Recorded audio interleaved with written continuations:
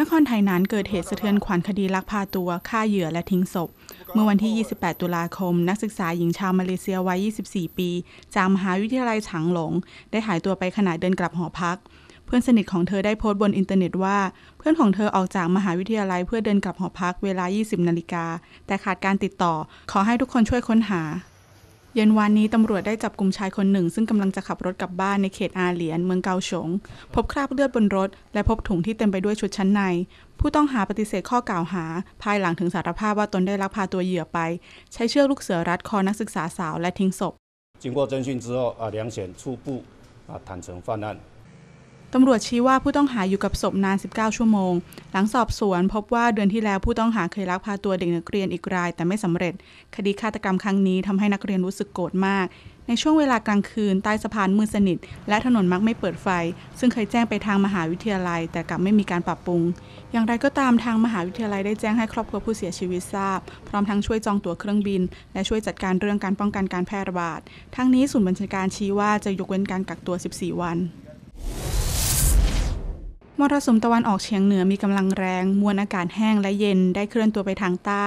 อากาศทั่วไต้หวันยิ่งดึกยิ่งหนาว โดยเฉพาะคืนวันศุกร์ไปจนถึงเช้าวันเสาร์ พื้นที่โล่งทางตอนเหนือและตะวันออกเฉียงเหนือ อุณหภูมิมีโอกาสต่ำถึง 17-18 องศาเซลเซียส ส่วนกรุงไทเปจะมีอุณหภูมิประมาณ 20-21 องศาเซลเซียส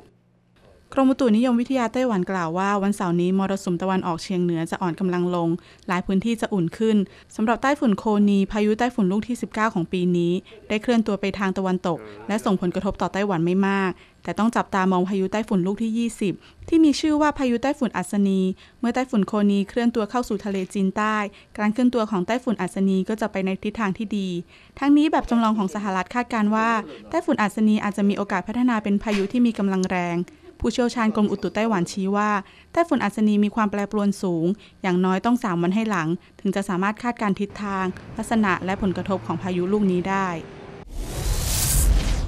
เมื่อสองวันก่อนนายเจ้าเจียนหมิง อดีตรองประธานคณะกรรมการกิจการจีนแผ่นดินใหญ่ ประเมินว่าช่องแคบไต้หวันเข้าสู่สภาวะกึ่งสงคราม ซึ่งเมื่อวานนี้เชียวกัวเจิ้งอธิบดีกรมความมั่นคงแห่งชาติ กล่าวในการประชุมสภาว่า ระยะนี้สถานการณ์ช่องแคบไต้หวันตึงเครียด 事实上，台海最近这个阶段的确是蛮紧张的。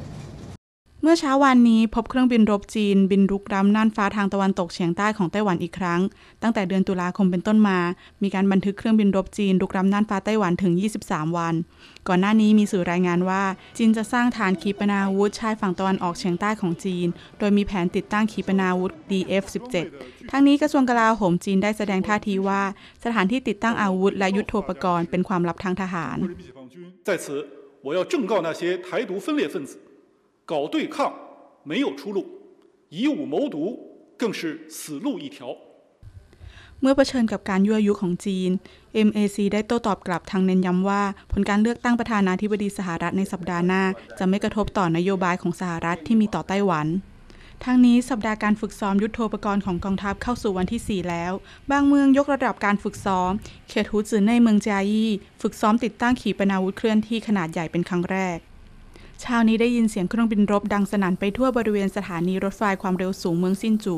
เฮลิคอปเตอร์อาปาเช่ AH-64E และเฮลิคอปเตอร์ UH-60 บินฝึกซ้อม เจ้าหน้าที่ทหารหลายนาย ยกจรวด AGM-114 Hellfire ขึ้น ออกฝึกซ้อมปฏิบัติการด้วยความรวดเร็ว และฝึกการเติมน้ำมันขณะปฏิบัติการของเฮลิคอปเตอร์ แสดงให้เห็นถึงศักยภาพทางทหารของไต้หวัน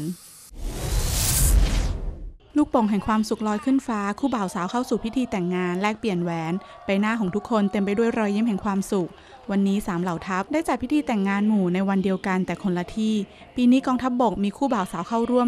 188 คู่ ทั้งนี้มีคู่รักเพศเดียวกันเข้าร่วม 2 คู่ ถือเป็นครั้งแรกของไต้หวันที่คู่รักเพศเดียวกัน เข้าร่วมพิธีการแต่งงานหมู่ร่วมกับกองทัพ เมื่อเดือนพฤษภาคมปีที่แล้ว สภานิติบัญญัติไต้หวันผ่านร่างกฎหมายการสมรสของคู่รักเพศเดียวกัน พิธีแต่งงานหมู่ของกองทัพ จึงได้เปิดให้คู่รักเพศเดียวกันเข้าร่วมตามกฎหมาย แสดงถึงจุดยืนของกองทัพที่เปิดกว้าง และทันต่อยุคสมัย